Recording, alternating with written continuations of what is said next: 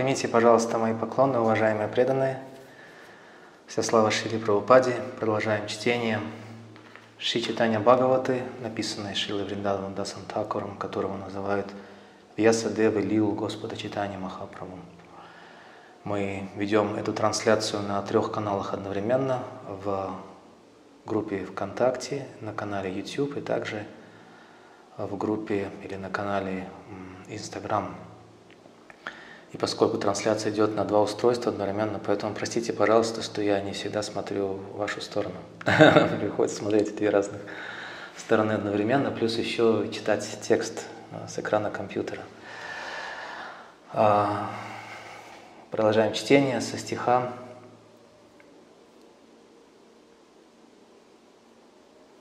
двадцать четвертого.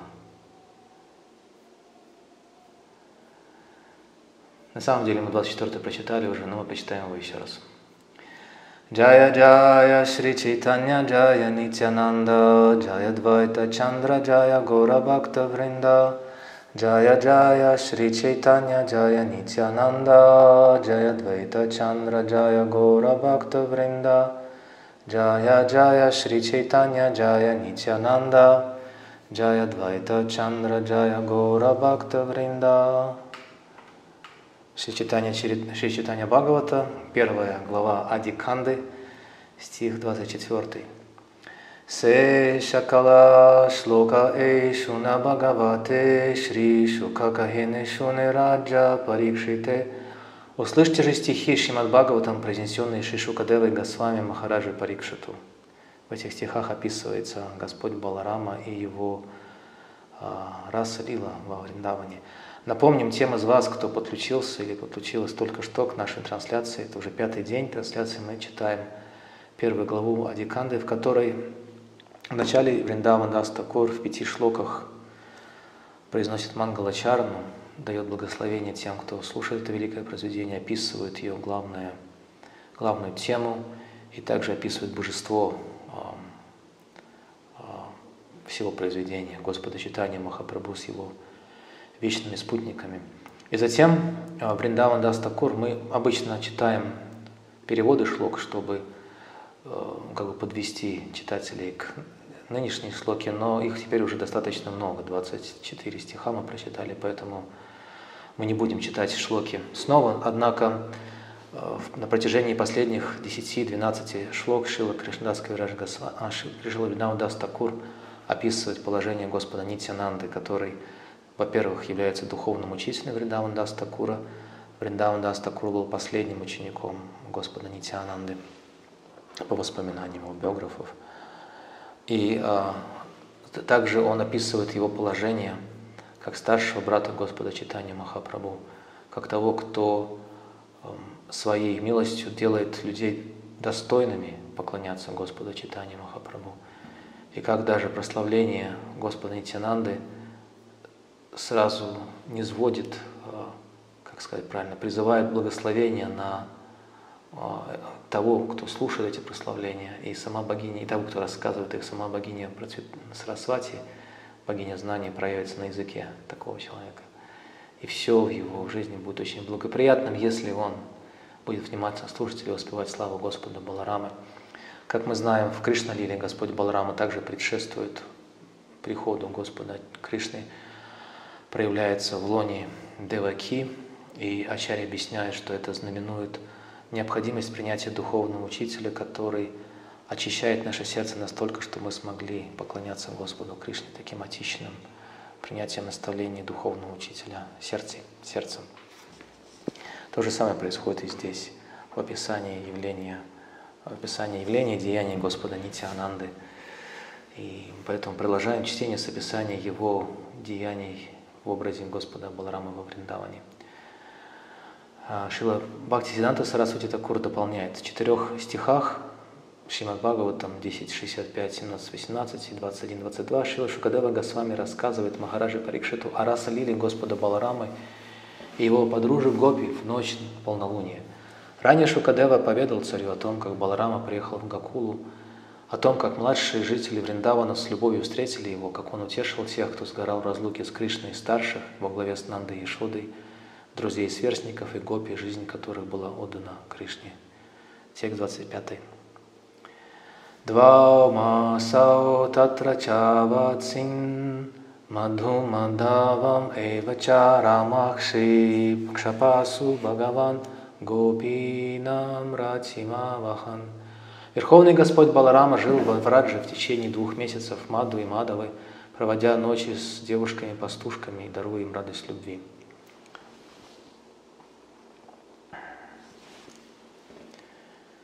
А, комментарий Шилы Бхактиданта Сарасвати Такура. Брихат Вайшнава Тошини Шила Санатана Госвами так описывает раса Лилу Господа Баларама. Шри Баларама утешил тех гопи, которые были связаны любовью с Кришной, достигнув главной цели своего приезда во Вриндаван. Этим он явил свою любовь к жителям Враджи. Затем Баларама насладился весенними играми со своими гопи. Далее Шила Санатана Госвами пишет, во фразе «ратим авахан» слово «рати» означает изначальное «ади» раса. Префикс «а» длинное «а» означает должным образом, а слово «вахан» получая «он рамага», то есть «он, как никто другой, искусен в любви». Он Верховный Господь и поэтому в совершенстве знает природу любви, описанную в Кама-шастрах. Слово «тага», упомянутое в предыдущем стихе Шримад Бхагаватам, также указывает на тех гопи, которые страдали в разлуке с Кришной и у которых не было других устремлений, кроме желания вновь встретиться с Кришной. Поэтому Шри Баларама жил во Вриндаване в течение двух месяцев, каждую ночь встречаясь с девушками-пастушками в танце любви. Слово «ча» позволяет заключить, что милосердный и несущий радость каждому Господь Шри Баларама, видя, как велика скорбь девушек в разлуке с Кришной, провел во Вриндаване более двух месяцев. В комментарии Лагу Тошани Шиладжива Госвами пишет, в этом стихе слово «гопи» и «нам» указывает на других девушек-пастушек, поскольку слово «гопи» не всегда означает «гопи Кришны». Кто-то спросит, в чем же различие? Кришна встречался ночью с гопи, и Баларама встречался с гопи. Разве это не, не были одни и те же гопи? В ответ можно сказать, что гопи, участвовавшие в расе Лили Кришны, это другие гопи, и в этом нет сомнений. Итак, у Баларама есть свои гопи. Утешив девушек-пастушек, страдавших в разлуке с Кришной, Шри Баладева отправился к тем гопи, в присутствии которых Кришна однажды шутил с ним. «Мой старший брат, дорог, мой дорогой старший брат, эти гопи мечтают прильнуть к твоей широкой груди и оказаться в объятиях твоих сильных рук». В то время Баларама не прикасался к этим гопи, но Кришна шутливо намекал на будущее. Гопи, о которых здесь идет речь, это другие гопи, младшие по отношению к главным гопи, любимым подругам Кришны – После победы над Шанкачудой Кришна праздновал холи со своими подругами, и у нас нет никаких свидетельств в пользу того, что Кришна когда-либо прикасался к младшим гопи. Его слова, обращенные к брату, были наставлением для них – хранить целомудрие для Баларамы. Так Кришна всегда вселил надежду в их сердца. Слово «кшапасу» означает наиболее сокровенный. Слово «рамага» в этом стихе означает искусный в наслаждении – в Крама Сандарбе Шиладжива Госвами пишет, гопи, о которых говорится здесь, как о гопи Баларамы, это де, те девушки-пастушки, которые были вместе с подругами Кришны после победы над Шанкачудой во время празднования Холи. Согласно указанию Шри Кришны, они хранили целомудрие. Нет упоминания о том, что Баларама когда-либо прикасался этим гопи во время его ранних игр во Врадже. Зато говорится, что они были особенно привязаны к нему – Видя их чувства, Кришна милостиво попросил их хранить целомудрие ради удовольствия Баларамы. Брихат Крама Сандарби Шиладжива Госвами пишет, слова «Он доставил радость своим гопи» означают «Он доставил радость гопи, хранящим ему верность». В комментарии Саратха Даршини Шри Вишваната Чакаварти Такура цитирует Шидару с вами. Цитата. «Баларама совершал свои любовные игры с теми гопи, которые еще не родились, когда Кришна совершал свою расалилу или с гопи, которые были слишком малы, чтобы встречаться с Кришной. Таково заключение предыдущих ачарьев. Наш Прабхупада Шри Санатана Госвами сказал, что гопи Баларамы – это гопи, которые присоединились к подругам Кришны во время празднования Холи после смерти Шанка-чуды. Вот такие сокровенные темы обсуждает Шила Бхактистанта Сарасвати Такур в своем комментарии к этим стихам. При этом очень важно подчеркнуть, что сам Шила Бхактината Сарасвати Такур в высшей степени строго относился к квалификации э, преданных на обсуждение таких сокровенных тем. Вспоминает, что в Шри Гаудиматхи, по-моему, речь шла о Гаудиматхе в Калькутте, насколько я помню, в Бангбазар, Гаудиматхи, а его ученики вспоминают, что в свое время они читали Бхагаватам весь от начала до конца, не переступая, перескакивая через какие-либо песни, а, очень верно следуя повествованию. Но когда Шила Бхаксан Сарасвати Такур узнал, что настал черед чтения десятой песни Шримад Бхагаватам, то он прислал им письмо, в котором строго повелел перестать читать десятую и переходить сразу к одиннадцатой. Хотя среди чтецов и слушателей этой, этого повествования были саньяси, брахмачари, то есть далеко не начинающие преданные, были зрелые, очень опытные, доказавшие свою чистоту поведения многими годами саданы. В общем, Шила Бхаксан Сарасвати Такур относился к этому довольно строго. И точно так же наш Шила Прабхупада, я говорю наш, потому что здесь Шила Бхаксан Сарасвати Такур называет Шилу Санатна Госвами, наш Прабхупада. А наш Шила Прабхупада также относился строго к чрезмерной разборчивости или выборочности преданных в чтении его книг.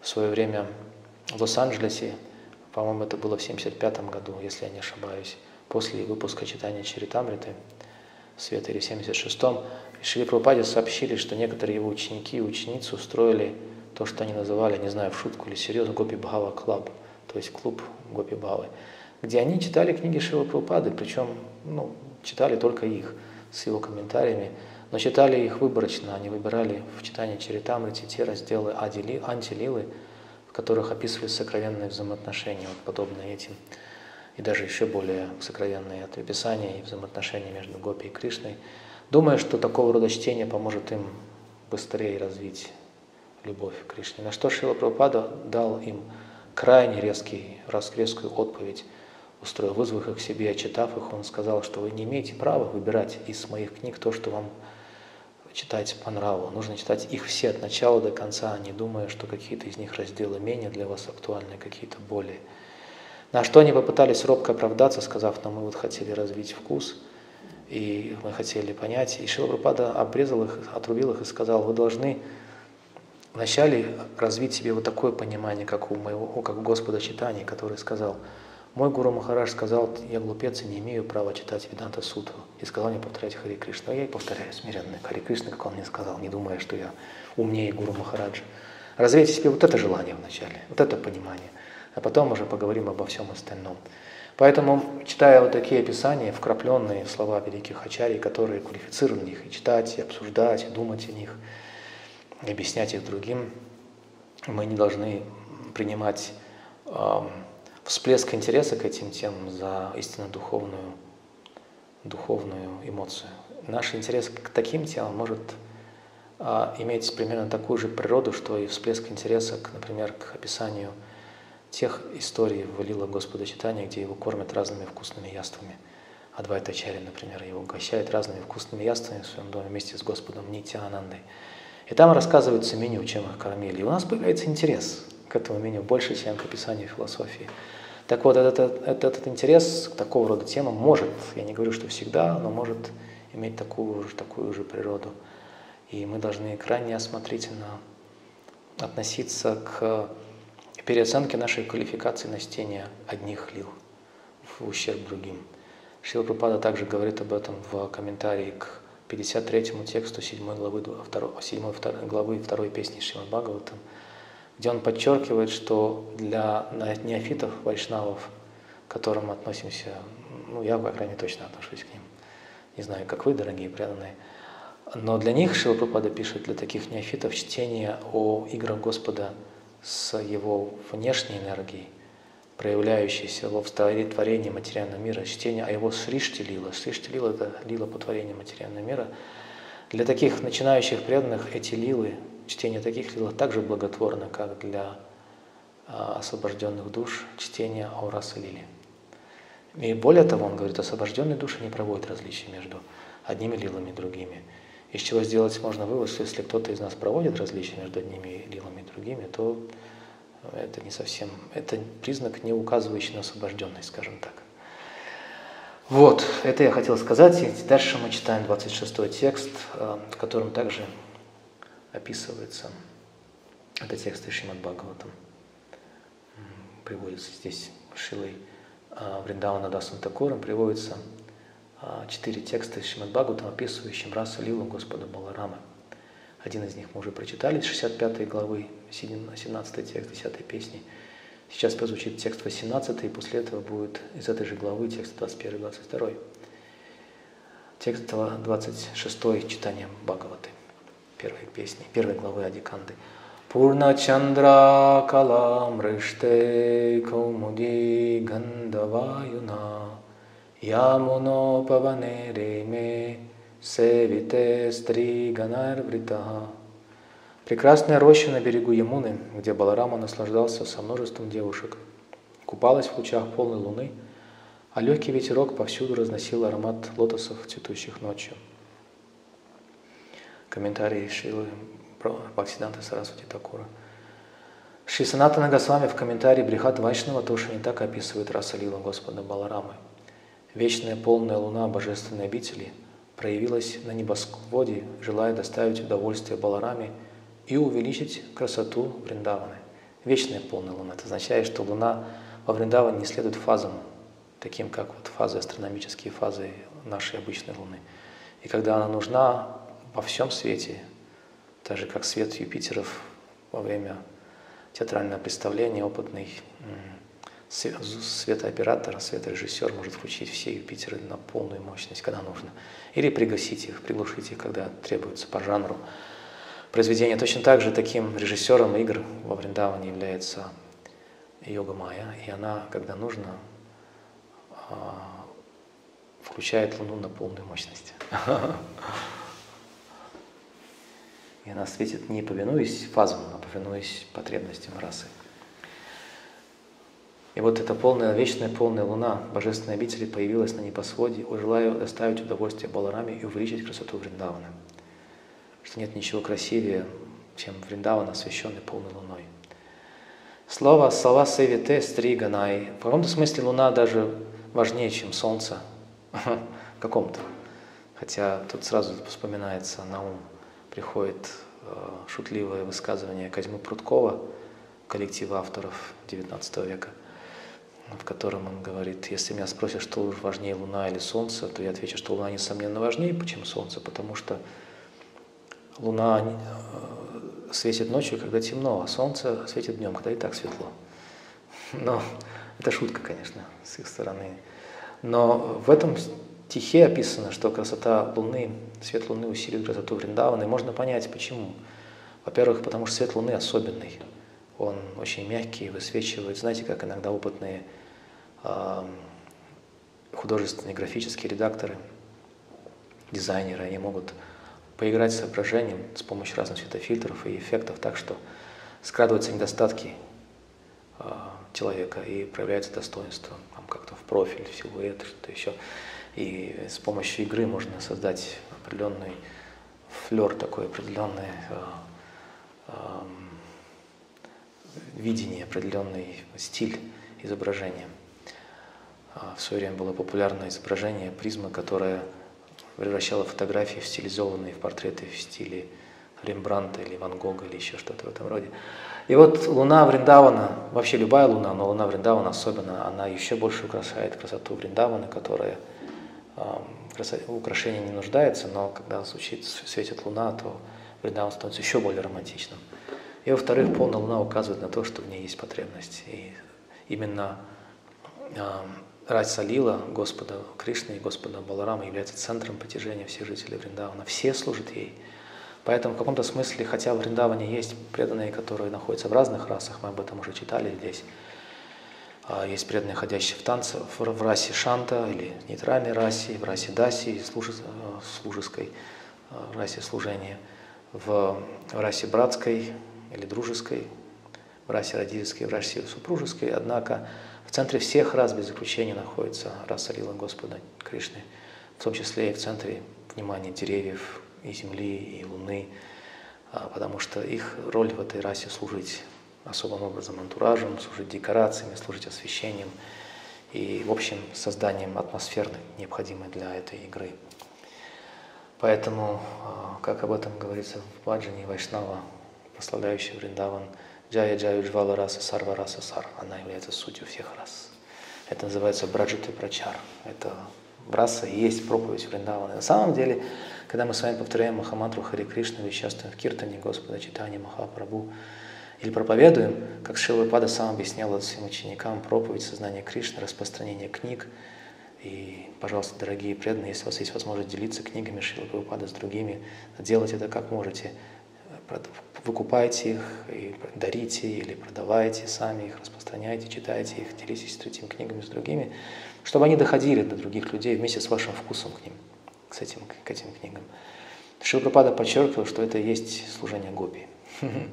Он говорил, что именно этим заняты гопи, потому что они все хотят привлечь к служению Кришне, самого дорогого для них.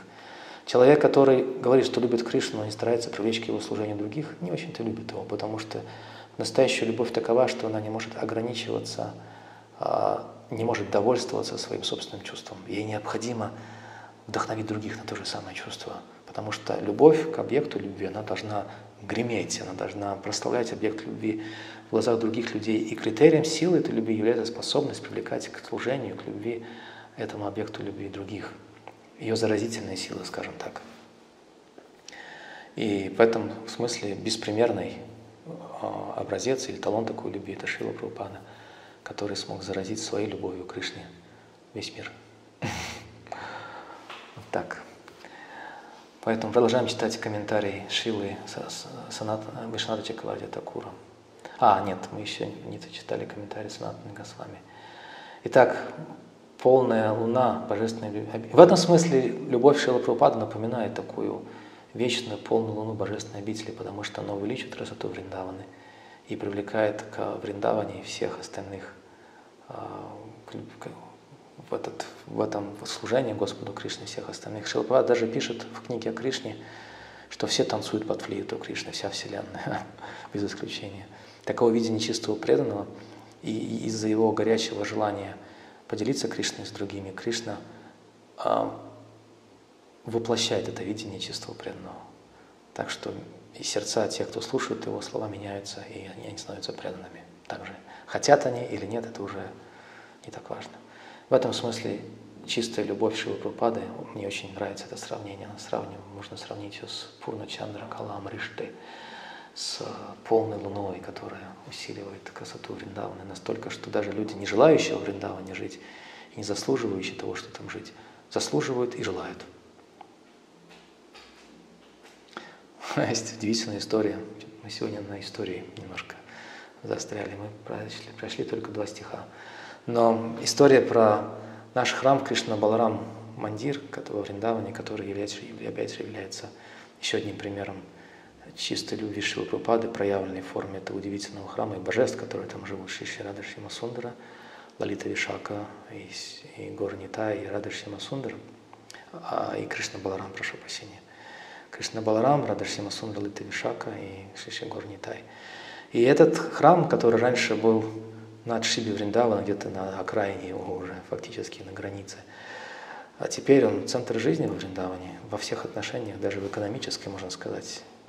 Не соревнуясь, не соперничая с другими храмами, но он действительно привлекает сотни тысяч людей во Вриндаван, опять же, силой а, и с яркостью света божественной – полной луны любви Шилы Прабхупады Кришне и к своему духовному учителю.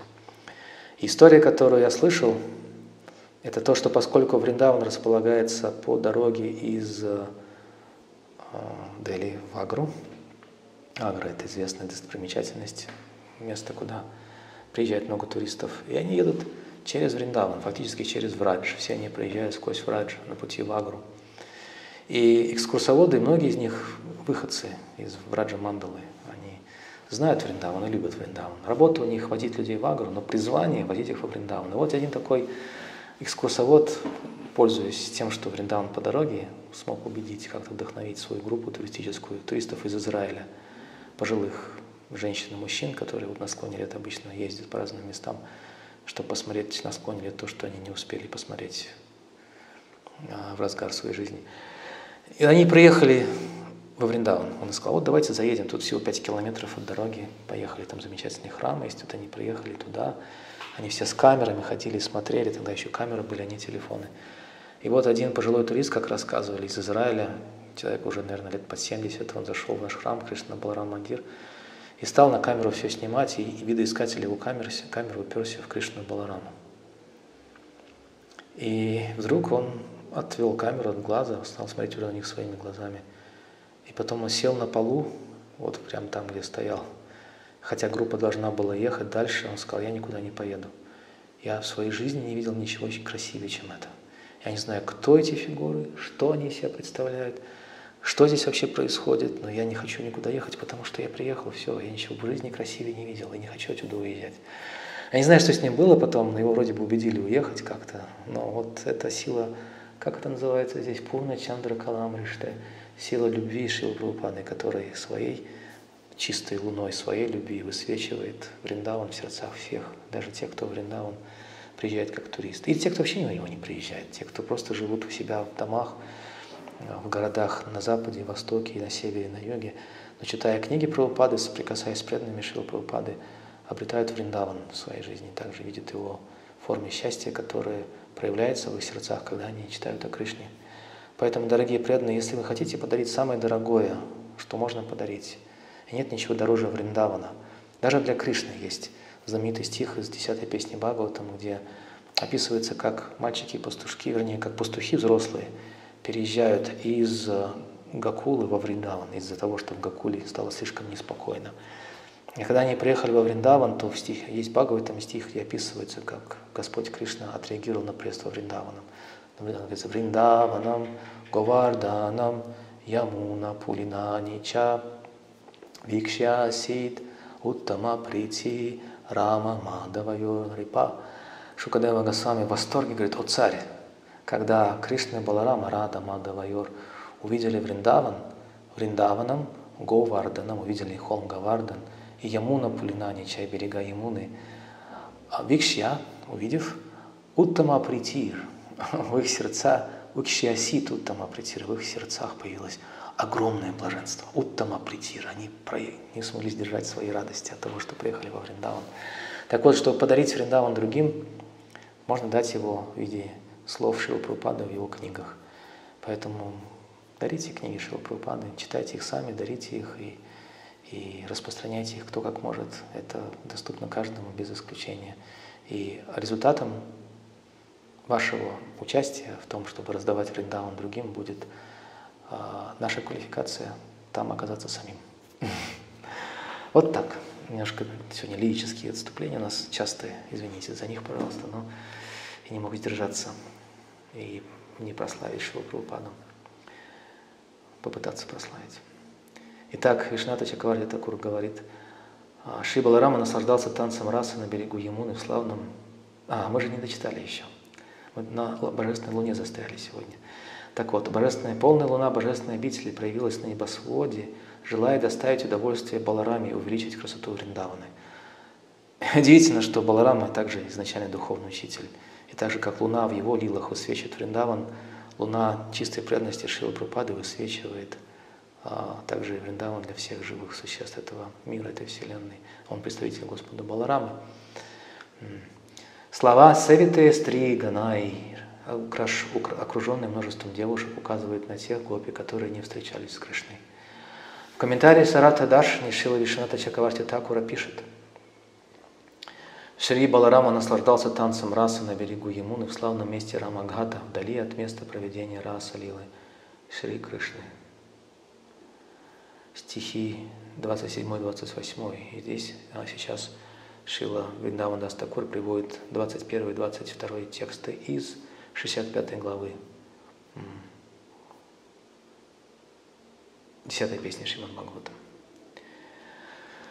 Upagya manogan, upagya manogan harvairvanita shobha mandale reme kareno yudhesho mahendra iva varana nedurdundu bayo vyomni vivrishu kusumar muda Gandharva munayo ramam tvad viryar идиретада.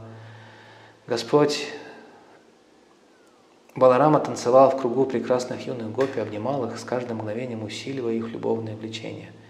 Это было подобно тому, как слон Айр Индры Айравата наслаждается со своими женами. Небожители осыпали землю цветочным дождем, гром барабанов оглашал небосвод, а Гангарвы и великие мудрецы пели славу величественных деяний Шри Баларама. Комментарий Шила Бхактиданта Сарасвати Такура. В некоторых изданиях этой книги мы находим слово «удгаян» вместо «упагия мано» и «махендра варано ядха» вместо «махендра ива варанха». Поскольку Шидара с вами, Санатна Госвами, Шила Джива Госвами, Вишната Чакварти Такур не комментируют эти два стиха, 21-22, можно заключить, что некоторые версии Шримад Бхагаватам не содержат их. Объяснение этих стихов есть в комментарии Бхагават Чандра Чандрика – на Шримад Бхагаватам Вера Рагава Ачари, принадлежащему к Рамануджа Сампрадай, а также в комментарии Пада Ратнавали Виджай Дваджи Тиртхи Матва Сампрадай. Текст 29. Е стри сангамуни гане карина нимдан, танра рамера расы каринаставан. Великие мудрецы порицают общение с женщинами, но прославляют танец раса Баларамы с пастушками в Раджа.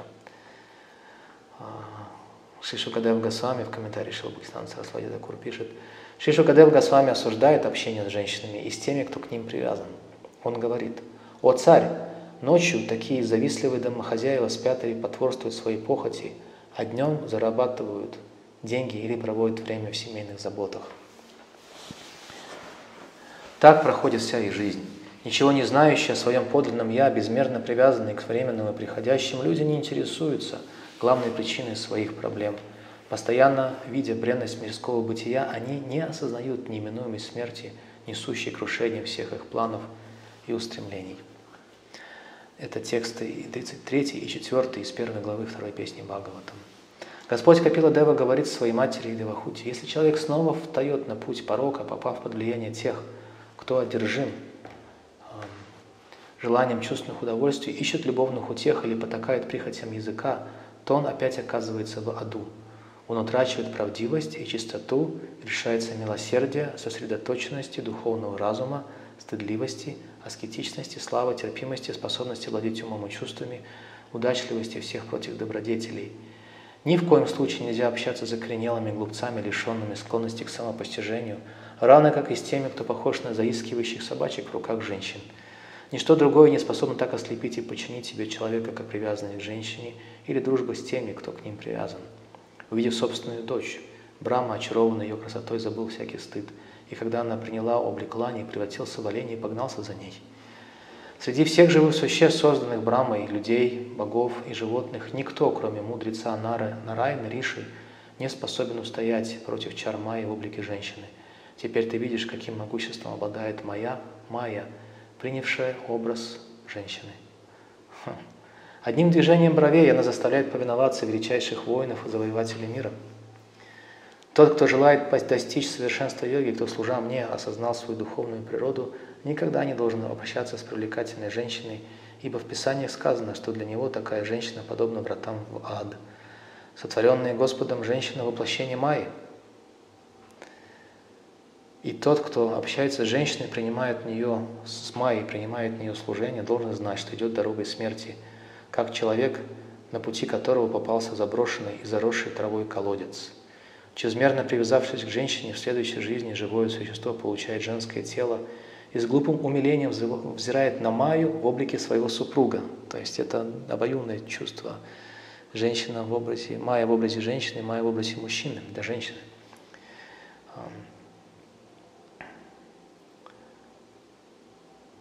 Чрезмерно привязавшись к женщине, Живое существо получает женское тело в следующей жизни, с глупым умилением взирает на Майю в облике своего супруга, рассчитывая на то, что он дарует ей богатство, детей, дом и другие материальные блага.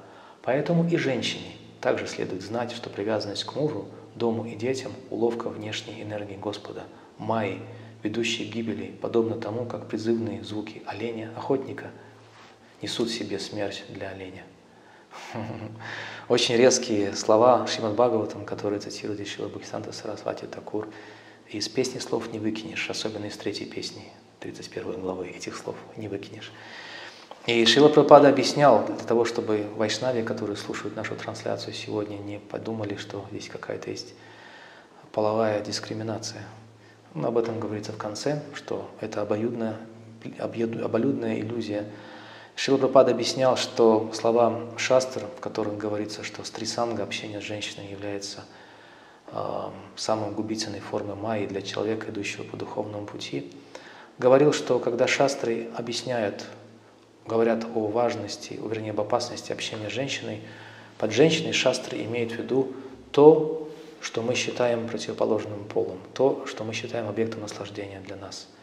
Он сказал это, сформулировал в следующем афоризме, он сказал, что для мужчины женщина – женщина, а для женщины – мужчина – женщина.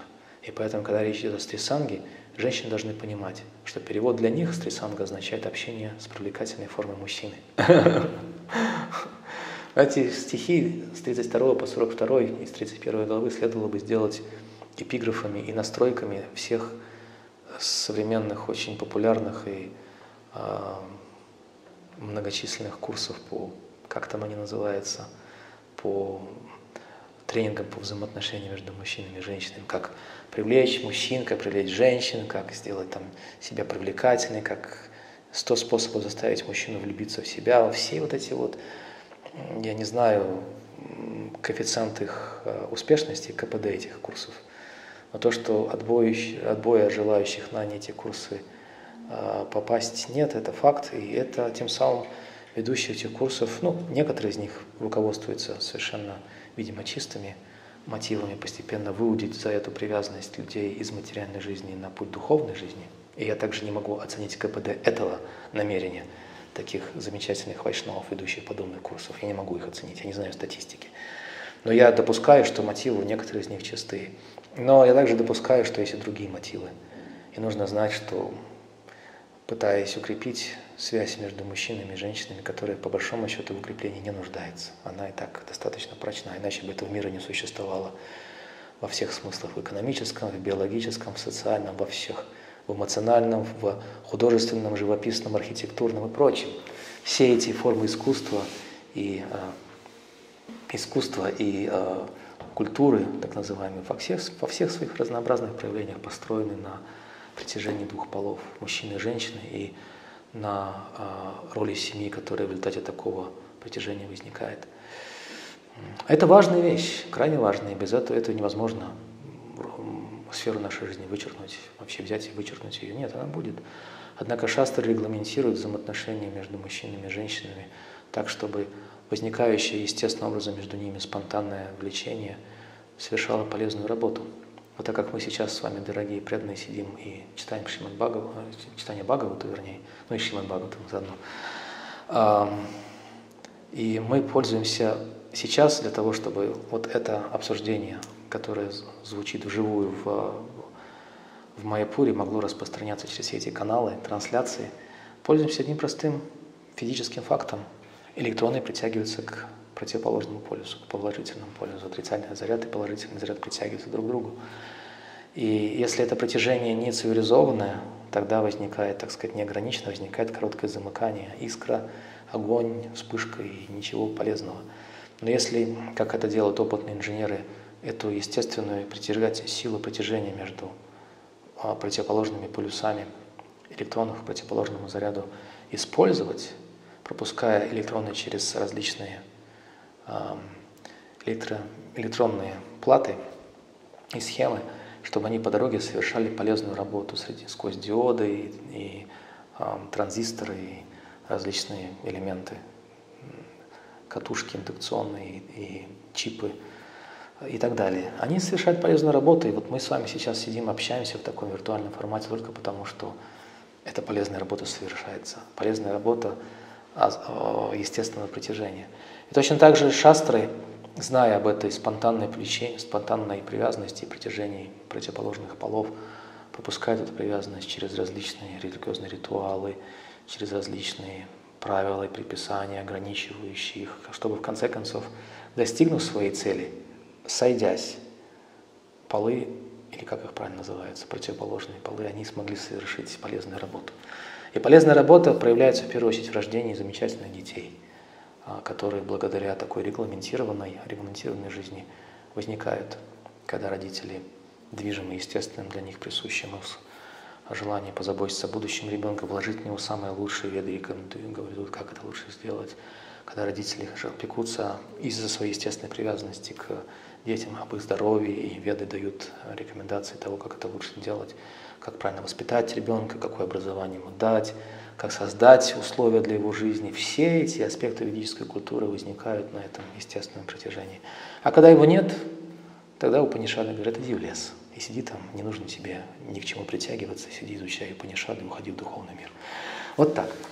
И поэтому Шила Пропада, цитируя, насколько я помню, он цитировал Маршала или Адама Смита, кого-то из этих двух знаменитых экономистов, по-моему, Маршала, говорил, что Маршал сказал, если я не ошибаюсь, или Адам Смит, что не будет семейной привязанности, не было бы экономики в этом мире. И они были правы. Поэтому, когда мы читаем такие писания в Шримад Бхагаватам, мы должны, во-первых, не обижаться, думая, что есть какая-то дискриминация женщин. Шрила Прабхупада объясняет, как это нужно правильно объяснять, а понимать, что сам факт того, что мы все женской природы, изначально из духовного мира, придя сюда, пытаемся выставить себя в роли наслаждающихся, тем самым выставляя себя в таком психологическом смысле мужчинами, как наслаждающимися. Неважно, какой биологический пол у нас. А, и тот, кого, те, кем мы пытаемся наслаждаться, мы превращаем в объект наслаждения в женщин. И поэтому Шива Панага сказал в этом афоризме, для мужчины женщина – женщина, а для женщины – мужчина – женщина. И если мы исследуем регулирующий принцип преданного служения и рекомендациям вет по правильной семейной жизни, у этой естественной и часто разрушительной привязанности возникает а, положительная и конструктивная сторона, которая может привести к очень большому, большому, большой пользе для общества и для индивидуальной духовной жизни участвующих в них людей. Вот, Шри Нарада Муни сказал Махараджи Прачинабархи, глупцы стремятся к так называемому благополучию жизни в полном достатке с женой и детьми, зная это, считая это своей главной целью. Так, не узнав ничего о трансцендентном Верховном Господе Вишну, они скитаются по материальному миру, постоянно перерождаясь и нигде не находят приюта. 4.25.6. Шримад Бхагаватам 4.25.10 и так далее. Нарада Муни рассказывает Махараджи Прачина Бархи историю царя Пуранджаны и царицы Пуранджани. Там же, в Бхагаватам, он упоминает об опасности общения с женщинами и говорит о важности служения Господу Хари. Нарада Муни продолжает наставлять Махараджа Прачина Бархи. Мой царь, посмотри, у нас очень много будет сегодня чтения про эту тему. Есть комментарий Шила Бхагистанта Сарасвати Такура на, на 10 страниц на эту тему. Так что настраивайтесь на лирический лад, романтический. И мы напоминаем, что эти комментарии Шила Бхагистанта Сарасвати Такура звучат в контексте описания Лилы, раса Лилы Господа Баларамы. А в, в 29 стихе Вриндаван Дастакур сказал, великий Еса стри санга муниганы карина ниндан. Ниндан означает порицают общение с женщинами. Тан рау рамера расы карина ставан. Великие мудрецы порицают общение с женщинами, прославляют танец раса Баларамы с пастушками в Раджи. Шилапрапад также оговаривался, что да, общение с материалистичными женщинами порицается, однако нигде в шастрах не прославляется, не поощряется оскорбительное отношение в адрес женщин Вайшнави. И вообще оскорбительное отношение каких адрес каких-либо женщин или ради каких-нибудь, каких-либо живых существ в целом. То есть эти две вещи, опасность мирского общения с противоположным полом и уважение ко всем, они не взаимоисключающие совсем. Необходимо, более того, только человек, который умеет уважительно относиться ко всем живым существам, в первую очередь к женщинам, как к матерям, которые заслуживают величайшего уважения, защиты и почитания – только такой человек может по-настоящему правильно относиться к ним, не пытаясь эксплуатировать их за собственных эгоистических желаний. Даже если эти желания появляются вдруг в его сердце, он никогда не будет давать им повода для проявления. Шила Прупада говорил, у нас в юности были те же самые желания, что и у вас. И мы тоже были молодыми людьми, у нас были тоже эти все, как их называют, гормоны. Но, и мысли. Но у нас не было даже мысли в голове подкатиться с этими идеями какой-то женщине. Не было мысли, потому что была культура, и была нравственность, и была также духовная чистота у людей, которые поклонялись Господу Хари, что давало им силу терпеть эти желания и давать им проявляться. Как мы также, воспитанные нашими родителями, и знаем, что в каких-то ну, в публичных, приличных местах нужно какие-то побуждения терпеть и не давать им проявляться, чтобы не прослыть невежливым или грубым. Но, к сожалению, этот мир, сегодняшний мир этому не учит. Мы продолжаем читать Шримад Бхагаватам.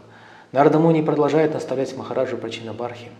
«Мой царь, посмотри, как красив едва распустившийся цветок, и как, увядая, он теряет свое очарование. Подобно этому, женщина сначала очаровывает, а затем превращает жизнь мужчины в череду сплошных проблем. Сам вид молодой женщины пробуждает в мужчине вожделение, толкая его на утоление своей страсти. Он с головой уходит в пучину чувственных сладостей, радости, услаждая все свои чувства от языка до гениталий. Семейная жизнь приносит ему иллюзорное ощущение счастья.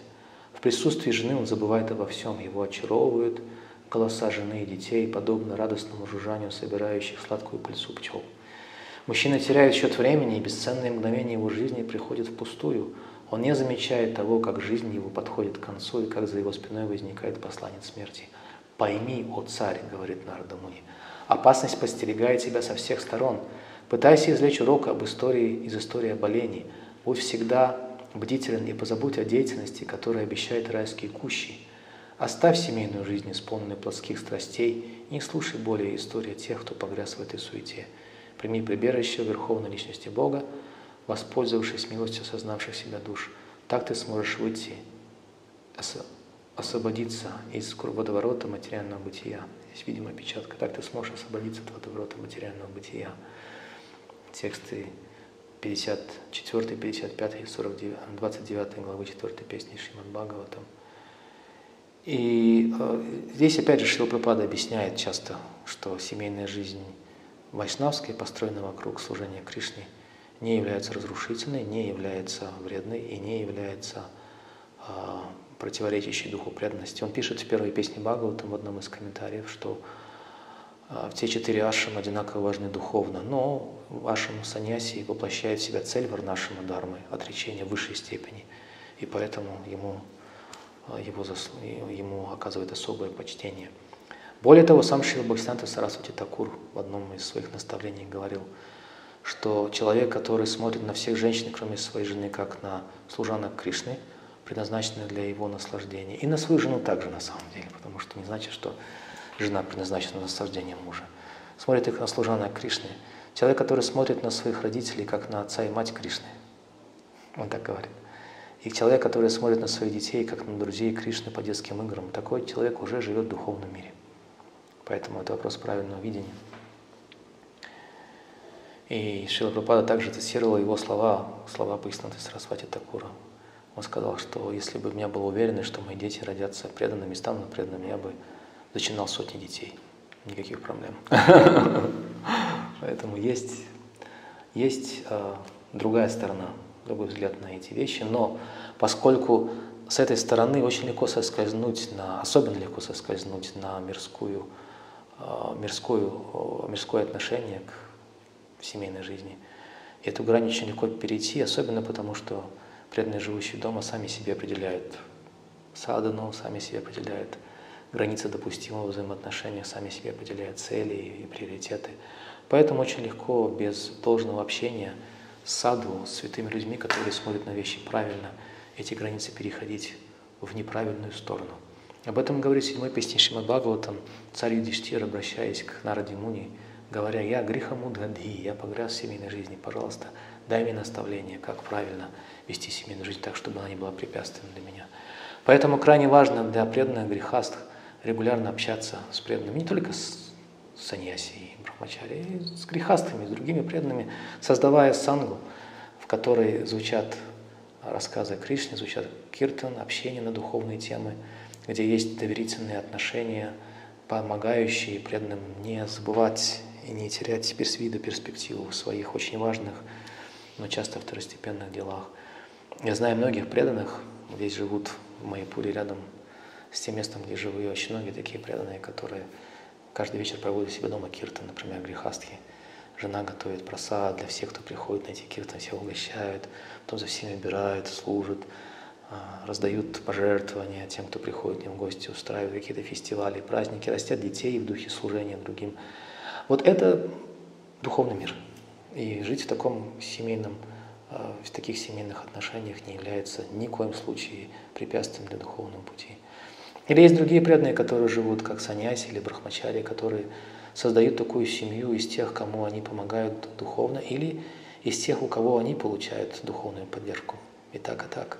Все должны жить в семье, но семья у всех немного разная. Но однако все могут использовать свои отношения, которые должны заводить для служения Кришне, для того, чтобы брать на себя все больше и больше ответственности за помощь другим в их духовной жизни. Тогда между такой семейной жизнью или и жизнью в отречении не будет никакой разницы. Так это объяснял Шива Прабхупада. Но тем не менее, поскольку опасность велика соскользнуть с этого пути на мирское отношение к семейным узам, Шила Бхактисанта Сарасвати Такур и Бхагаватам неумолимо и не, а, непрерывно напоминает нам об этой опасности, чтобы мы эту тонкую грань не переходили. Рассказывая Вайшнава Грихастхи, царе Прияврати, Шукадева Госвами говорит, он горячо любил свою жену Бархишмати, и брачные узы сковывали его все сильнее и сильнее. Женское обаяние царицы Бархишмати, ее походка, взгляд, умение одеваться, грациозные движения, улыбка и смех полностью приняли ум царя. Он был великой душой, но вел себя как обычный мужчина, попавший под каблук жены. Царь Привата был великим, великим преданным. И он, более того, не хотел жениться, пока его не уговорили Брама и Ману. И Нарада Муни тоже участвовал в этом разговоре. Он пытался уговорить его не делать этого. Вот так или иначе. У него все будет хорошо потом. Далее царь Приват осуждает свою жизнь полной мирских радостей, мирских материальных наслаждений. Горе мне, чувственные радости погубили меня, я погряз в страстях и не вижу спасения, подобно человеку, упавшему в заросший травой колодец. Довольно с меня. С этого дня я оставлю все виды наслаждений. Во что я превратился? Я стал дрессированной обезьянкой, танцующей по указке моей жены. Текст 37 первой главы пятой песни Бхагаватам. Может быть, кто-то из вас, дорогие преданные, пожалел уже, что участвует в этих трансляциях. Но это слова великих святых. И таких слов есть немало, также в наставлении Шилы Прабхупады и Шримад Бхагаватам, и читание Чаритамриты.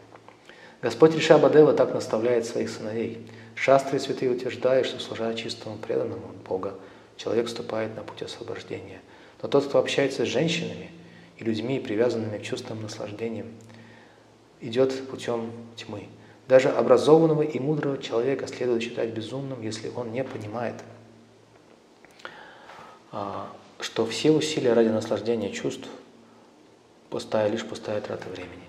Забыв об истинном благе, он пытается наслаждаться окружающим миром, печется о своей семье, возникающей сексуального влечения и доставляющему ему страданий.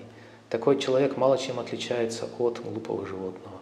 Половое влечение мужчин и женщин друг к другу – главный принцип материальной жизни – материалистичной жизни, скрепляя вместе, вместе сердца двух существ вот эти самые скрепы. Не буду на эту тему шутить.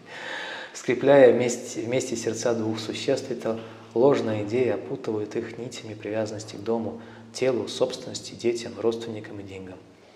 деньгам. Туман иллюзий сгущается, заставляет человека мерить все лишь категориями «я» и «моё», Однако, когда в сердце материалиста ослабевает узел мирских привязанностей, он избавляется от непреодолимого влечения к дому, жене и детям. Отбросив основной принцип иллюзии «я и мое», он достигает освобождения и отправляется в трансцендентный мир. Пятая глава пятой песни Шримад Бхагаватам. А, и Шрила Прабхупада объяснял также преданным грехастам, которых у него было очень много, каким образом эта привязанность естественная для мужчины и женщины в семейных отношениях, каким образом она может одухотвориться и стать благотворной, благоприятной для духовного развития. Он объяснял, что в центре духовной, в центре жизни каждого грехасхи должно быть служение божествам. Именно так объясняет этот принцип и Джива Госвами в Бхакти Сандарбе, которого цитирует Шила в читании Чаритамрити. Он говорит, что поклонение божествам особенно важно в первую очередь для грехаст, которые имеют ресурсы которые не могут и должны занимать в служении Богу, непосредственно направляя на поклонение Кришне в форме арчи грехи. Поэтому поклонение арчи грехи должно быть пышным и должно соответствовать уровню достатка человека, в котором они, у кого дома они живут. Так он объяснял. И естественным а, результатом поклонения божествам является что? Угадайте, пожалуйста, дорогие преданные. Является что? Просад, который нужно раздавать. Нужно готовить его не так, чтобы его только нам на семью хватило, а чтобы его было очень много, и чтобы можно было раздавать его повсюду. И эта раздача просада является самой лучшей формой а, давать прибежище другим живым существам, не только преданным. Эти два принципа, описанные в 11 песне Бхагаватам о семейной жизни, так и звучат. Грехина будто ракши джья, что означает грехастха, у них есть два принципа в жизни.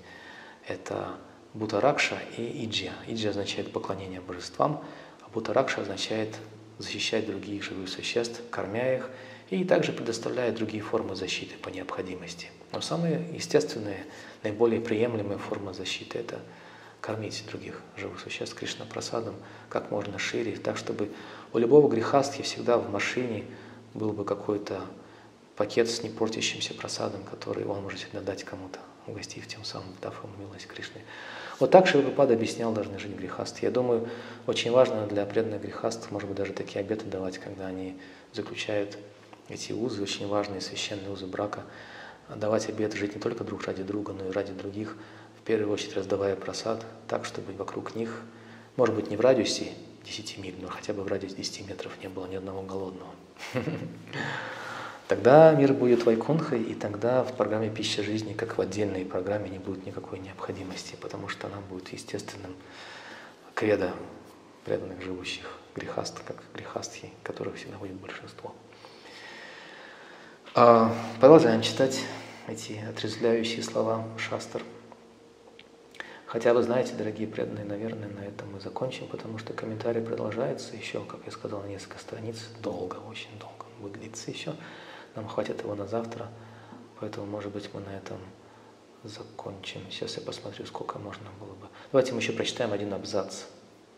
Угу. После того, как Вишнудуты освободили Аджамилу из рук посланца Бога смерти, спасенный Браман раскаялся в том, что полностью погряз в чувственных наслаждениях. Цитата. «Тот, кто отождествляет себя с целым и всегда жаждет чувственных удовольствий и потому занимается разнообразной благочестивой или греховной деятельностью, это и есть материальное рабство. Настало время освободиться от пут материи, который попал под влиянием иллюзорной энергии Всевышнего, что предстало передо мной в облике женщины.